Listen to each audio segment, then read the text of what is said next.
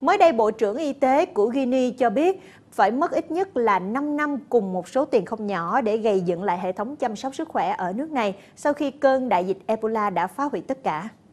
Cơn đại dịch Ebola đã tàn phá hệ thống y tế tại các nước Tây Phi, lấy đi sinh mạng của hàng trăm bác sĩ và nhân viên y tế. Điều đó cho thấy hệ thống chăm sóc sức khỏe của những nước này không hề khỏe mạnh. Phát biểu trong một cuộc họp tại Geneva nhằm tìm kiếm giải pháp tái xây dựng lại hệ thống y tế tại ba nước Guinea, Syria, Leone và Liberia.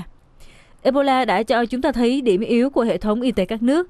Đầu tiên, dịch bệnh phát triển không thể kiểm soát, nhưng đó cũng là một cơ hội để cho chúng ta thấy hệ thống y tế của các nước yếu ớt như thế nào. Bộ trưởng cũng cho biết, để xây dựng lại một hệ thống y tế khỏe mạnh cho Guinea cũng cần phải mất đến 5 năm và 300 triệu đô la Mỹ.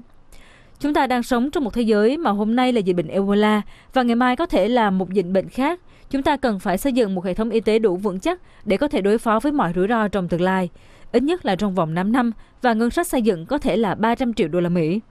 Dịch bệnh Ebola bùng nổ ở Tây Phi từ tháng 3, cướp đi gần 6.300 mạng người, chủ yếu là ở ba nước Guinea, Sierra Leone và Liberia.